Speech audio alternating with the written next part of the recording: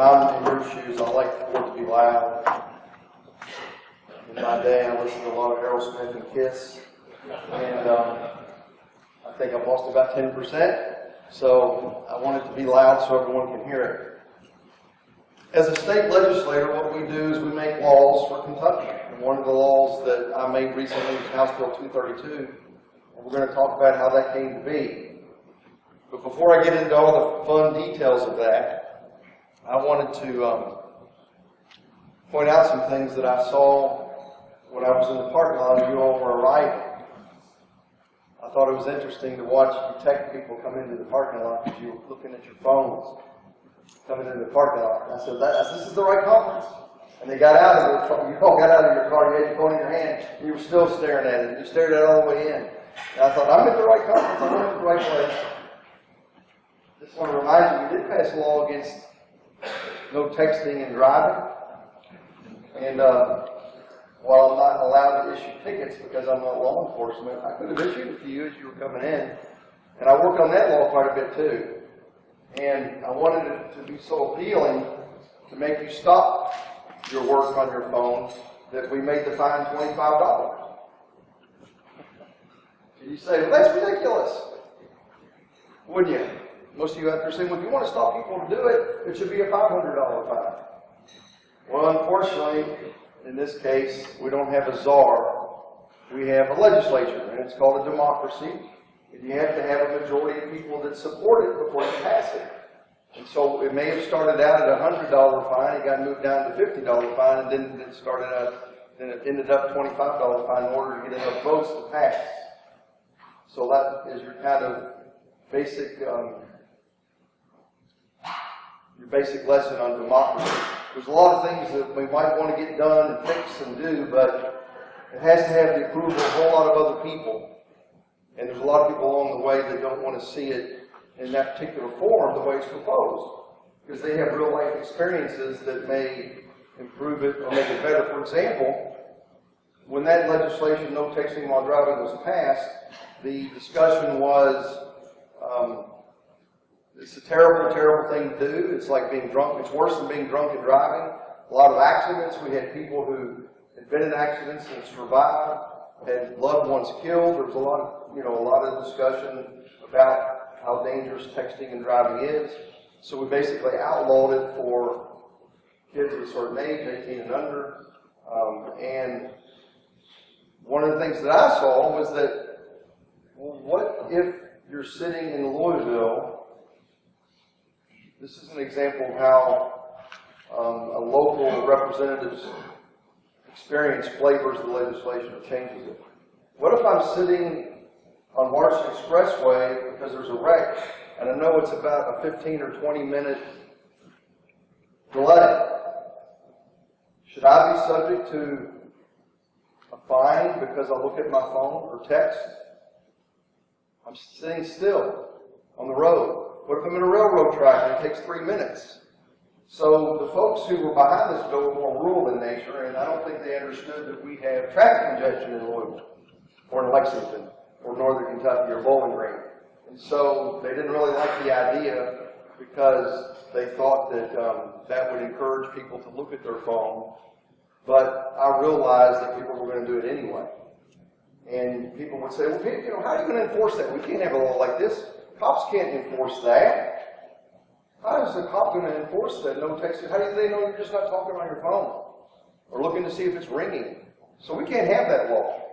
We, we shouldn't. People voted no because cops can't enforce it. Well, you can't base public policy on what cops can enforce and can't enforce. Because a lot of public policy is what we, how we want you to behave how we want you to be safe. You have to set policy in place.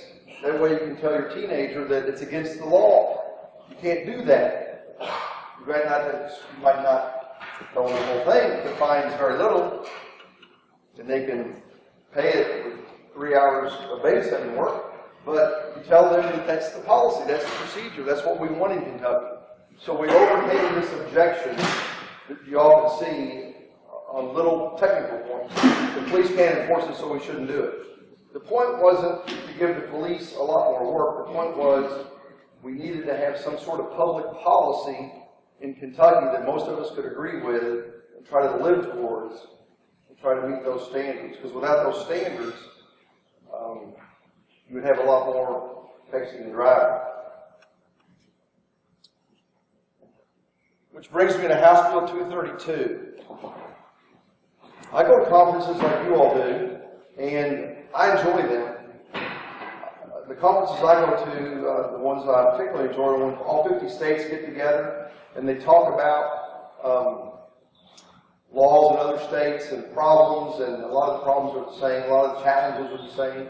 You get to learn from other lawmakers to see what they do. You don't have to reinvent the wheel.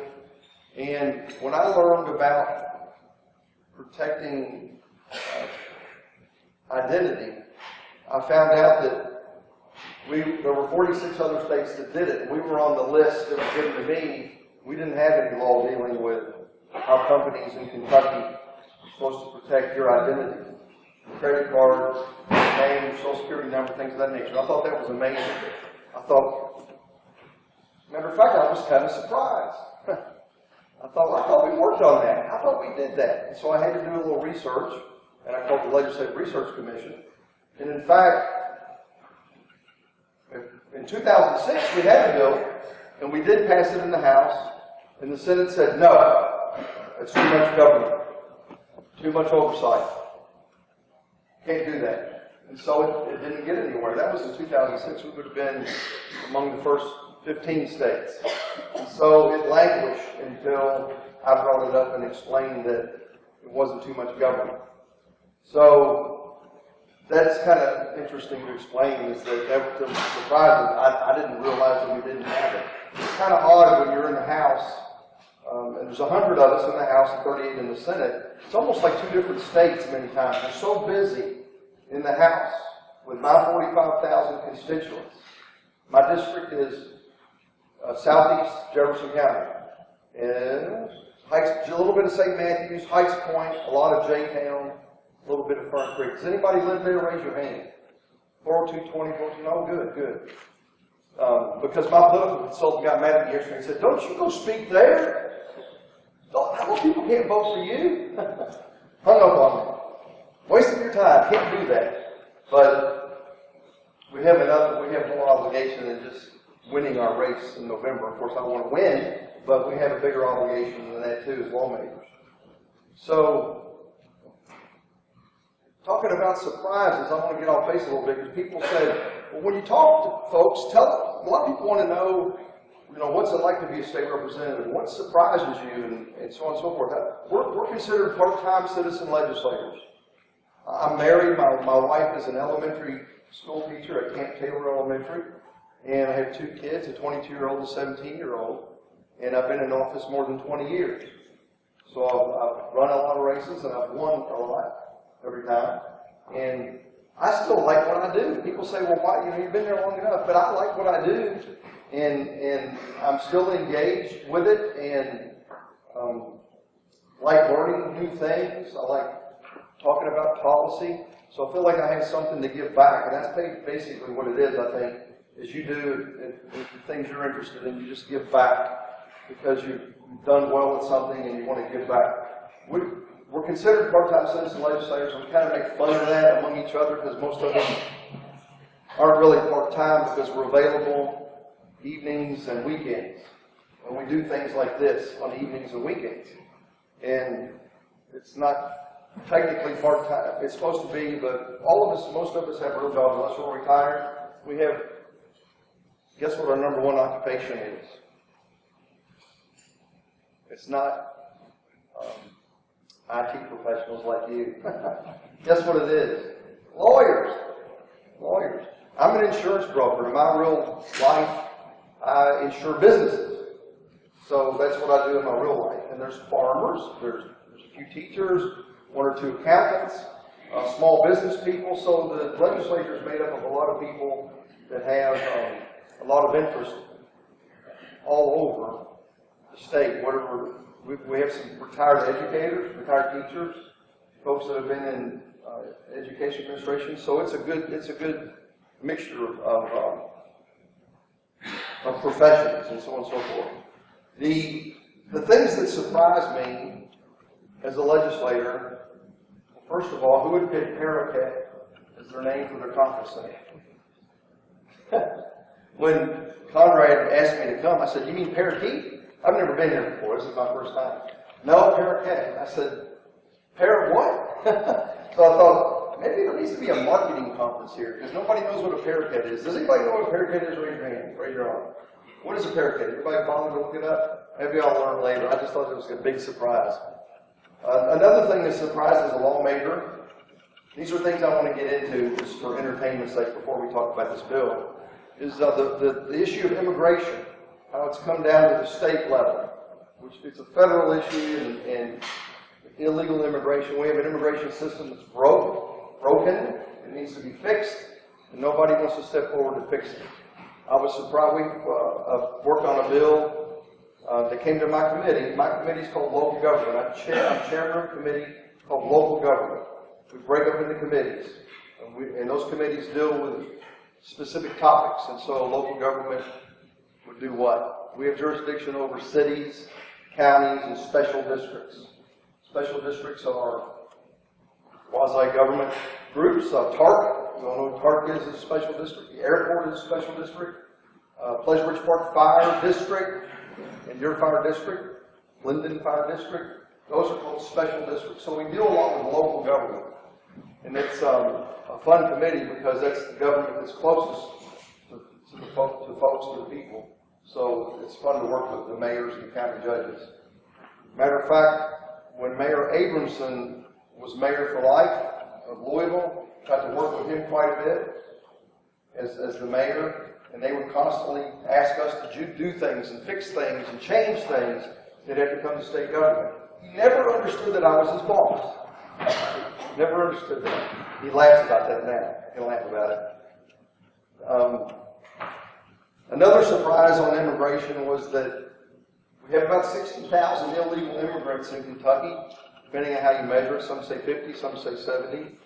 Folks that have that are here working for somebody somewhere, farming, roofing, construction, cleaning, restaurants, a lot of people working.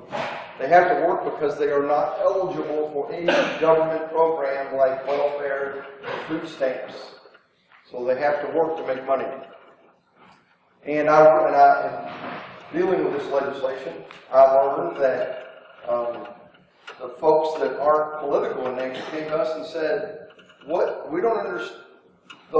they're experts in business and economics came to us, people that we employ, unbiased people in the executive branch, other folks involved in chambers of commerce and so on and so forth, and said, we don't understand this anti-immigrant bias because without immigrants coming to Kentucky in the last 10 years, our population would have shrunk.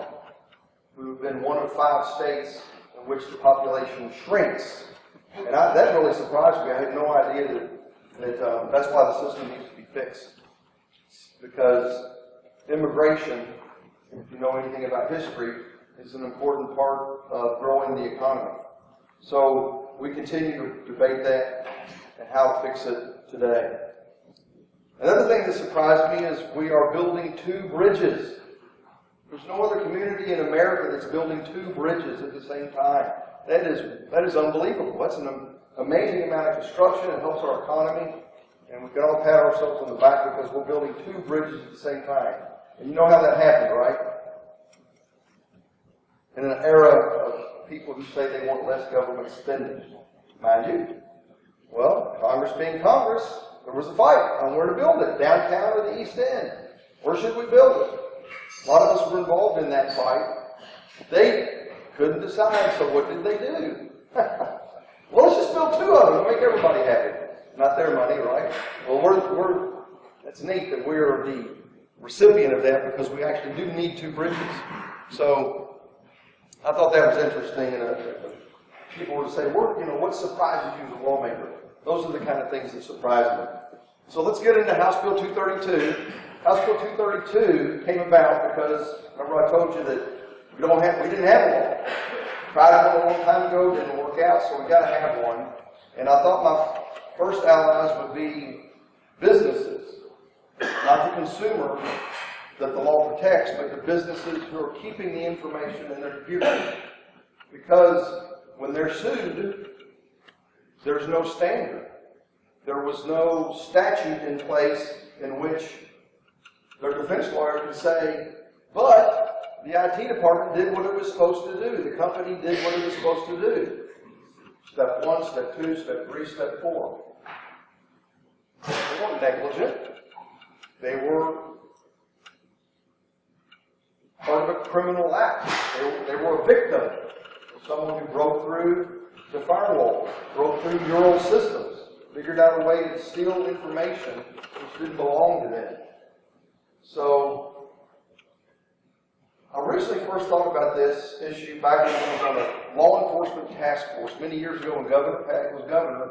We had this law enforcement task force where law enforcement people from all around the state would get together once a month, and I was the one guy in the legislature who wanted to be on that task force, so I was the legislative appointment. And mostly it was sheriffs, uh, city police, county attorneys, commonwealth attorneys, um, corrections officers. So it was all about what's law, what, what can law enforcement do, what can we do better, how can we do it better, so on and so forth. And I remember that this issue of, of um, identity theft came up. And this was kind of early in the stage. And I remember sheriffs now keep in mind in, in rural Kentucky, in most places in Kentucky, most counties in Kentucky, the sheriff, you call the sheriff if you want to enforce the law. Something happens, break in, you call the sheriff. If you live in the city like Berea, you call the Berea Police Department, but more likely you're talking to the deputy, the deputy sheriff of um, Madison County. So in most counties, it's the sheriff. So we're at this, we're at this meeting, and the sheriff of a medium-sized county explained that he had somebody calling.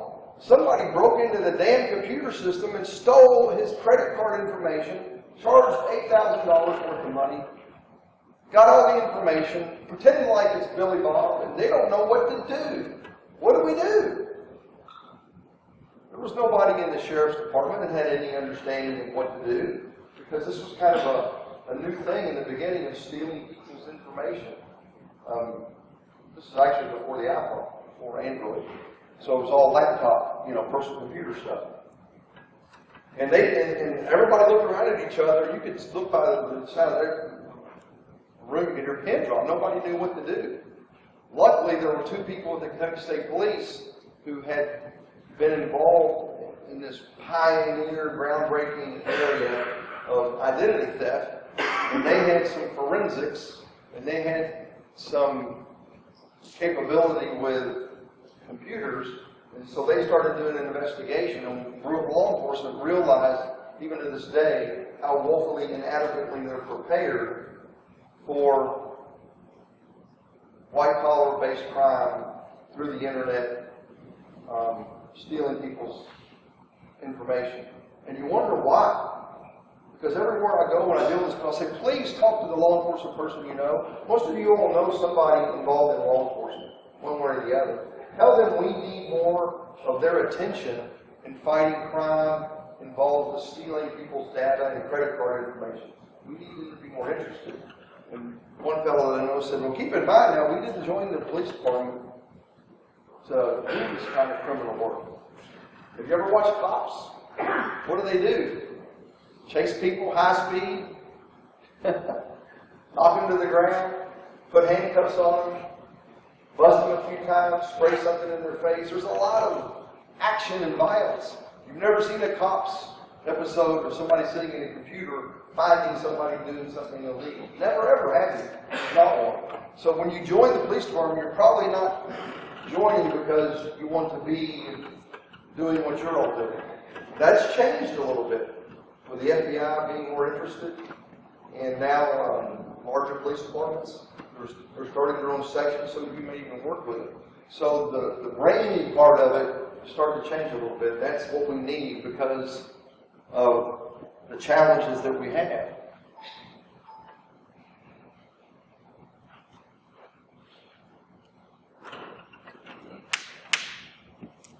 Where's the crime going on? Well, as you can see from this first bullet point, a lot more crime on identity theft than there is with thefts and burglaries. One in 16 is what the government statistics say is a victim of identity theft. That's a whole lot of people. A lot of that's small, but a big part of it is, is large. But if it ever happens to you, and some of it's happened to you, I'm sure, then anything small doesn't feel small because you don't know what's going to happen next. It may be $100 or less, but you don't know what's going to happen next. So at that last bullet point, when I found out that we were that many statutes dealing with it, what I did is I got together with people that I thought would be interested in coming up with a law because the lawsuits that would happen, um, you could come in as a, as a plaintiff's lawyer and say, they stole my client's information and it was their negligence that caused this problem because not just their security wasn't set up right, but they didn't follow the rules that so-and-so, New Jersey has. New Jersey has 22 different steps and rules that must take place to protect the consumer from theft. I'm making that up. I'm just giving an example. I don't know if they have 22 or 18. But the plaintiff's lawyer would say, this company didn't do anything about it. And the company would, well, we tried. But what you've got to have is a standard in place, a statute in place, that you can point to and says, well, the lawmaker said we have to do this. And that's our defense. And so the businesses that I work with agreed that we need some statutes in place that they can point to that says this is what the lawmakers want us to do. They want us to do these things.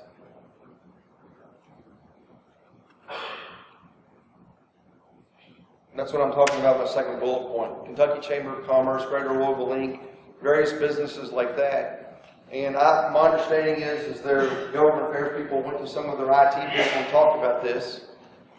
And they came back with meeting after meeting after meeting, real concerned that whatever we put in place as law, that we didn't make it so unique that it was a barrier to commerce in Kentucky.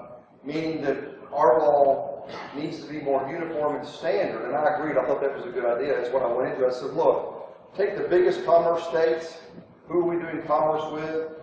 Uh, from state to state, Indiana, uh, Florida, Pennsylvania, Texas, California. We need to be something similar to them because we need some standard and uniform laws in which to deal with. 232 covered the private sector, and there was another bill going through by somebody else on House Bill 5, which was the, the um, public sector, addresses schools and other state and local government agencies because they collect private information too, don't they? And it wouldn't be appropriate to have to tell companies, you've got to do this when the state and local governments weren't doing any of that. So the idea was we were going to go down in parallel lines, and I was going to handle the private sector the other legislator was going to handle the public sector and try to keep it as uniform as possible. As you, you might not, I don't know if you remember, but that's for you all. This would be good for you all to read. If you go to Auditor Adam Edelen's website about House Bill 5 and about what the origins are, he has a report on that. You all probably ought to read that because there's things in there that you would like to read that would be appealing to you and interesting to you. And then um, you might be able to give us some, make us some changes. I mean, in a democracy like we have, it's your responsibility to, email us or call us and say, what about this, what about that, help me fix this, help me challenge that. Uh, without your all's input, we can't, we can't function very well. If we're not functioning well, I like to blame a lot of it on the citizens because I, I don't do soybean law. I'm not a soybean farmer. But I hear from them quite a bit when there's something dealing with farming. I go to my colleagues and I ask them, folks that I trust on farming issues, what do you think about this? I go to the staff, what do you think about this? I don't know anything about this. I know very little.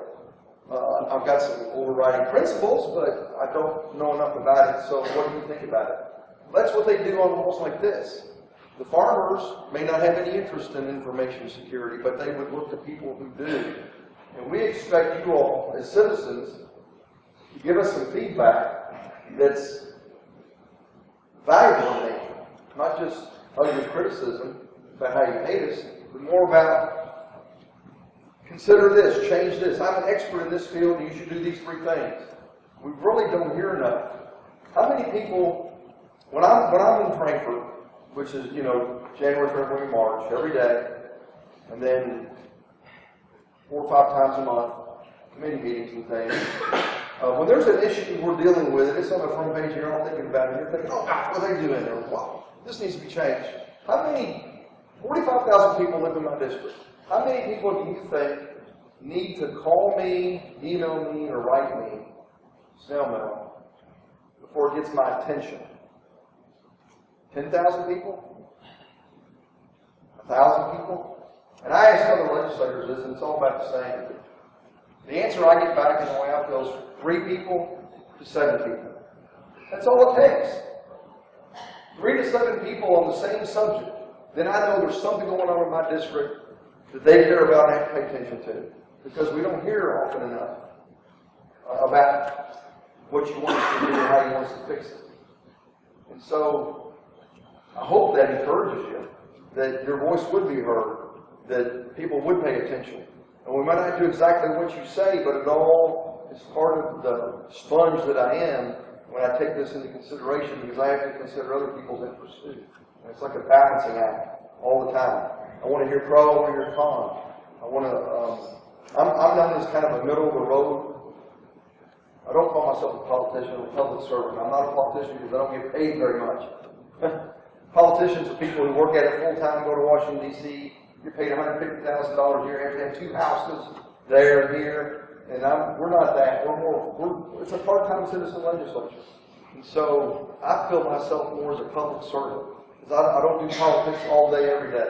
I don't have to raise $10 million. I have to raise too much money. Still, it's crazy, but you know. I, so I feel I feel more like I'm a public servant. So just a small amount of people that call or write and say, hey, this needs to be fixed, or this needs to be changed, or you need to pay attention to this, or that bill is a terrible idea. Don't vote for it. Something of that nature. And as you see the last bullet point I wanted you to read there, this kind of got government people's attention. That case in South Carolina. That's a whole lot of people. And that's a whole lot of money the state had to spend. That's what got Adam Edelen's attention, the state auditor who suggested the state do something. Make sure I got on the right one. Yeah. Now, in this bill, we're not going to go over the, the boring details of it, but I wanted you to be aware of these things. We're not requiring when there's a data breach that the Attorney General be notified or state officials be notified. But consumer reporting agencies must be notified if more than a thousand plugins are breached. You must also notify the person whose information was breached. Keep in mind, we didn't have the law. You so, somebody broke into the computer system, stole my credit card information, stole my identity, took, got my birthday, whatever they needed to do to misuse and commit fraud. Nobody had to tell me about it. I find that amazing. But that's what this law basically says is first of all, you got to notify the folks who You've got their information. They trust you are protecting it. And you guys are on the front line with that, protecting people's private information. And that's why your companies, you know, count on you all to do that. Bullet number two, the notice can be written, delivered electronically, or be done via a substitute. But if the notification is going to cost more than 250000 or more than 500000 people, then it may not be possible to direct contact. You can do this electronically by email, which of course you would have in most cases email database of your customers. Or you do it like Target did in the beginning. We got a, I got a snail mail first thing we got. It wasn't an email. The first thing I got was a snail mail from Target. Which I think people probably pay more attention to now because there's so little of it. so many emails you delete, you go through so fast when you get a snail mail with a lot of nice colors on it, you kind of like, it's a little different nowadays. If law enforcement, um, when you notify law enforcement and they come in and learn what the circumstances are, they may decide that they have an investigation they need to do, and they will have the power to hold up the notification for obvious reasons. so they can do an investigation to find the bad guy or gal.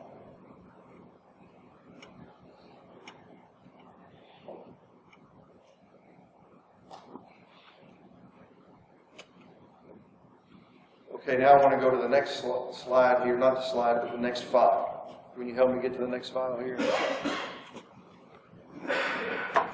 Oh, here we go, let's go to this one next, before we go to the next file. Other information I wanted to give you was our Department of Financial Institutions is now focused with a new task force that wants to detect and respond to cyber criminal activity, to preserve our financial system. And actually, they're working with their vendors on that, but they have, go to conferences like you all do and I do and, and talk about what works best. The, um, you know, there's federal offices like the FTC and the Postal Inspection Service, which also tell citizens how they can avoid identity theft. So the, the, if people want to know what are the steps I need to take to better protect myself, the information's out there. I was surprised that we were tied for 40th on identity theft complaints. I thought we were higher than that. So that's kind of good news that we're not way up the list on that one. And as you see, according to the FTC, government document fraud is the biggest complaint. Driver's license records, social security records, and credit card information is second. So now we go to the next file. Should help me find that. Okay? So the legislation did pass. I did convince the Senate that it wasn't too much government intrusion, wasn't too much government period, that we needed to protect the consumers and citizens because they expect it. When you go to these meetings of citizens, are like, what did you let them do that for? Why did you fix this? Why did you fix that? And, and it's very interesting that they call for more, call for more government, more government work, more government intervention, especially when it affects them personally, and they see that they're helped personally, then they want more government involvement and intervention. And so, same thing happened, I remember my insurance a self-insured group, workers' comp group went bankrupt. And the, and the businesses that were a member of it just couldn't believe the state would allow this to happen. It went bankrupt. Why did you all let it go bankrupt? Why did you tell us it was going bad? And it's like, Mr. Smith, you said you wanted us to stay out of your business. And well, not in this case. This is going to help me. So it's interesting how it kind of works both ways. Now, I just want to spend five minutes with you on this, since my background is, is, uh, is I broker cybersecurity policies. I would bet that many times, I know you probably don't buy the insurance for your company, but you might cons- be consulted on it by your CFO or your CEO or by somebody in the company who says, you know, our insurance expert, our consultant, or our broker, are telling us that we need to buy a policy. Because so many companies don't have a policy that protects them from a breach. And they're going to say, what do you think? So I want to give you just a little bit of information about cyber liability policy. Your company or your homeowner's policy excludes losses. The regular liability policy excludes losses dealing with cyber theft. Now, you'll see a lot of homeowners policies that you buy are now including, or you need to ask for it, the identity theft expense endorsement. Many of them are putting that endorsement on. But for businesses, they have to actually um, buy this separately, this policy separately, since the normal package policy excludes it. These are things you know. Our world is data driven. And with all, I, I make a joke about all this transfer of information back and forth, and everybody gets scammed. And I wonder if the old fashioned post office with its snail mail will ever make it come back. Because I've had old timers come to me and say, never, doesn't happen to me. I'm sending my check in by mail. so it's an interesting comment. As you know, because you're in this business, alarming and growing rates of increase, increasing in size and scope and sophistication. So what I want you, so when your boss or when your supervisor or when your owner comes to you and says, what do you know about cyber insurance? I know you're not an insurance agent, I know you're not an insurance consultant, but you need to know what it does and what it's designed to protect the company for. Substantial financial cost in remedying, remedying the breach, including the notice, the notice and notifying customers. It's now mandated in Kentucky, and what this helps is the cost of that kind of thing. The, the policy also covers the cost of extra labor involved in responding to this. If you, some of you get paid overtime, this policy will pay for your overtime, so you need to them to buy the policy, right? What else does it cover? Damage and claims expense for the loss of this data. Network damage, and that includes the inability to gain access to the network and destruction or alteration of a third party's information residing on the network. Other losses that are covered are laptop breach, privacy, injury liability, all kinds of lawsuits coming about because of this type of thing. And that's why, uh, as you read business papers, more and more companies are buying this policy in different limits and in different, you know, they might buy the basic policy, they might buy one that's a lot broader in place because they can afford it, and they think it's important to cover those expenses. So, I'm not gonna give you examples, Clint, I didn't bring that, I just wanna let you know that, um, there's insurance protection out there for companies, and when you're asked about it, then you need to be able to say, it's protection, look into it. I would, I would never advise you to say, ignore it. So, those are kind of my thoughts and ideas related to the bill, that it's now law, and I don't mind opening it up to questions. Is that okay with you all, with the folks? Um, I didn't bring the law with me, but, and if you don't have questions, do you have any good ideas? Well, I need to look out for, what I need to be better at in regards to information technology. Any thoughts or ideas? Because I know we're not perfect. Somebody want to up your, uh, think of something, then you can communicate directly with us. Definitely talk to your own state rep and state senator about it. I I really think that it's incumbent on you to tell your lawmakers that, look, we need law enforcement to pay more attention to this. It's a bigger crime than burglary or theft. Their resources aren't focused in that direction. Identity theft, white collar crime, um, credit card theft, but they're more, they can be more responsive. Now, when I talk to law enforcement, they'll say, we have limited budgets, give us more money. And what are you gonna say? No, let's cut spending. But they're gonna say, for me to fix this problem, we gotta have more money. Uh, I'm gonna say, well, then we want less spending and less taxes. No, no, no, we can't have, we gotta have more, we gotta have more. So that's the, that's the balancing act we go through. So, at least tell law enforcement you think that that's something they ought to pay closer attention to, that you see it all the time, and that would be helpful as we move forward. I have a question in the back. I'll repeat it. I had a question about how you use social media to engage communication with you and, uh. She wanted to know, how do I use social media to engage with the public? And what, texting? Well, you with you and do you allow people to text you to, to communicate? Yeah.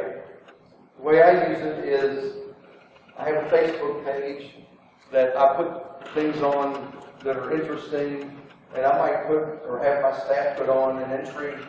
I don't use it every day, but I use it when things are important about bills and legislation I'm working on, or something I've heard that I think my folks who are interested in my point of view might want to see that on the Facebook page.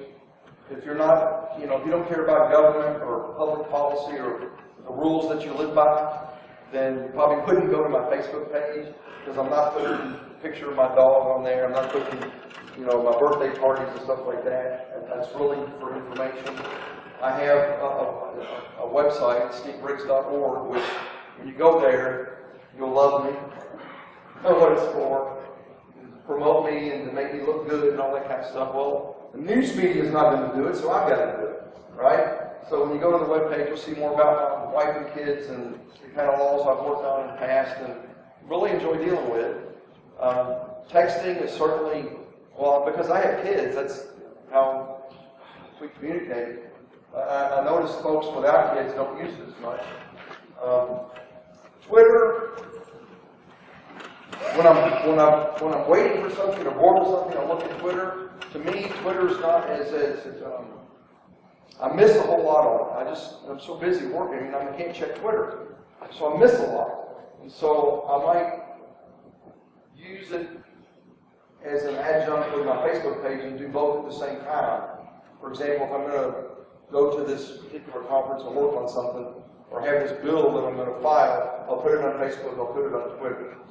So, Twitter, I don't find to be as helpful because I'm not probably, I'm not probably using it correctly. I just don't spend a lot of time looking at it, and so I'm missing a lot that goes along.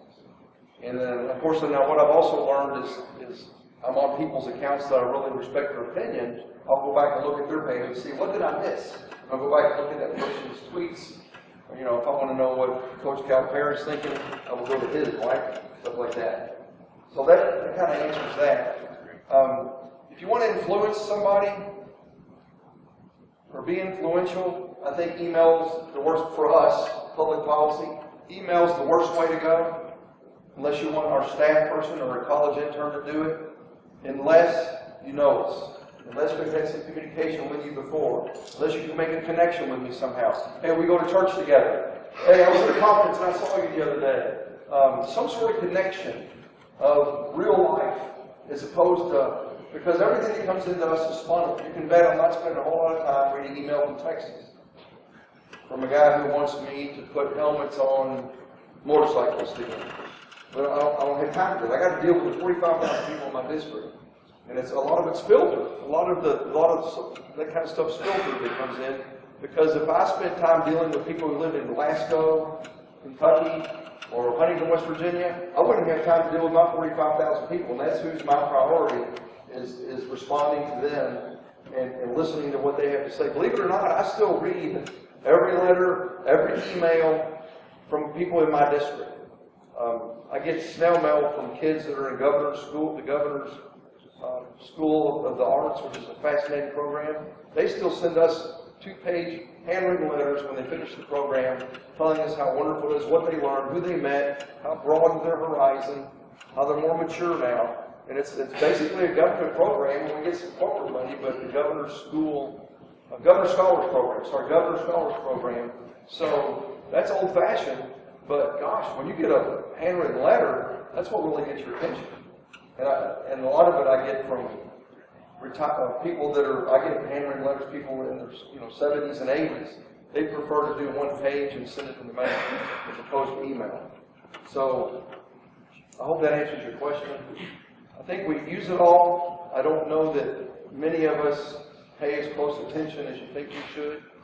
But we don't have our favorite things, our things that interest us. I'm, I'm not going to be um, you know, my profession, I'm in financial services. I'm working on bills, so that's the kind of information I'm seeking with social media, um, things of that nature. Any other thoughts or questions? I don't want to run over time. We got one fellow way back. Well, one, congratulations on getting this bill passed. Uh, it's been taking a long time. Uh, I think it's do a lot for information security. Uh, Are there any plans or discussions though about small businesses and compliance requirements within this area? Or is that going to be left, most of the private vendors contact small business about implementing Everybody hear that? I heard it up here, so you probably heard it. The, um, I think it's gonna be left to private vendors to contact small business to did you know this law passed? And you gotta do these things, and I can help you do it, number one. Number two, the small business groups signed off or approved this legislation, National Federation of Independent Businesses, NFIB, guard- regarding small business. Should think of them, and, you know, I'm stereotyping, twenty employees or less. They, they liked it. Um, So the small business groups, and, the- and the- each chamber has its own little small business unit inside the chamber. They liked it. So I think it's gonna be more of a, you know, we do have, we do have government programs like SCORE, and we have small business type advisory organizations that the government actually, you can meet with and consult with. And Some of these folks are retired business people who work there, and, and some businesses call and say, hey, I need help understanding this. Or they call, they could, actually call somebody like me or their state senator, we would get them to the right person. We would get them to the expert to talk to. So in helping the small businesses understand it, I think that, um, number one, is gonna be the, the commercial vendors who say, because most of them have somebody that they employ, unless it's somebody in the business, to, to deal with their website, you know, and deal with the, the, um, credit card transactions. Don't ask them, what about this? So, naturally, you can go on our website, Kentucky General Assembly or Legislative Research Commission, and read House Bill 232 for yourself, and you'll see what the rules are. And they're not ornery rules. They're not things that a small business person would say, well, this is going to put me out of business. It's, it's really designed to give them a bare minimum set of standards they need, they need to protect themselves with. I hope that answers your question. Anyone else? Yes, sir?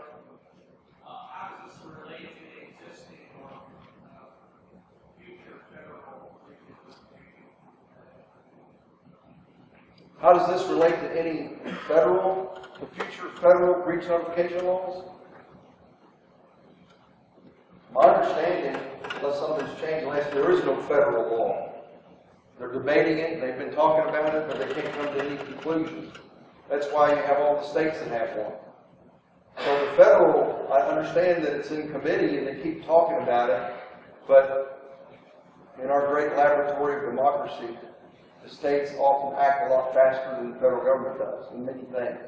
So, we were the 46th state, so the states have already taken the lead. And, and I were up there, be, I'd, I'd just kind of say, well, the states have already done this, let's move on to the next topic. But there might be some folks on the federal side who think that the states haven't done it right, so that's always up for debate. And they may supersede us if they want to, but, um, I haven't, I haven't seen that topic gaining ground. They've talked about it because their constituents are concerned about it. You know, the, the people that they represent are concerned about it, so they feel like they need to address it in some way. But I think, my understanding is they're learning that the states have, have, have, uh, been out way before they have on it. Thank you. What are your thoughts about California?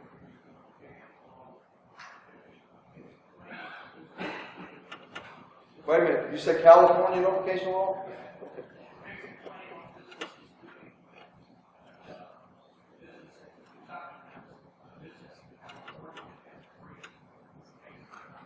I couldn't hear the last part.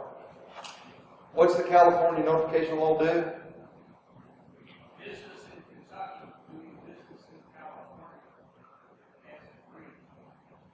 There are provisions for notification. So the question is, what about the California law? That's something you probably have to talk to the, to the law, business lawyer, but if you're doing business in California, there's gonna be an argument that you're not doing business there, your business is here, so you don't have to abide by California law. But if you're doing business in California, then you are, you are there and have to follow the California law. It would be like any other law. If you're in California, you have to follow California law. I would suppose there'd be people that would argue that you're not in California. You're only there in the virtual way. That would be a big debate over whether you're there or not. I haven't heard any more information about that. Has anybody got any, do you have any information about what has been decided, if anything, is that still up in the air? Our state plan is that everybody, every state has to be doing business in California. Therefore, they want notification of, uh, for those branches where, whether they have a right to it or not. That's where the federal folks are probably interested in having a more uniform type of law, instead of having forty-six different laws about what you do and what you can't do. Because, you know, we do that with insurance, it's state-based statutes and regulation, and creates a lot of people have a lot of problem with that. And so there's a lot of talk about more uniformity until they talk about more federal government, and making it bigger. So, oh, no, no, we can't do that. So that's, I think what you, I think it's fresh for debate right now, about what to do about that. Our standards are different. Our rules are different. And how do you deal with that? Uh, there's gonna be people that say, if you wanna do business there, you gotta do it the way they want it done. Otherwise, don't do it. And so that makes it more complicated. And that's the cost of doing business. Just like if you send a truck to California, driving your product there to deliver it, you have to abide by California law when you get into their territory. And if you think it's crazy compared to Kentucky, then don't do business there. It's cost of doing business. Are we pretty much run out of time? I think that's about it. I appreciate y'all asking me, and I hope uh, it was informative for you. Thanks for having me.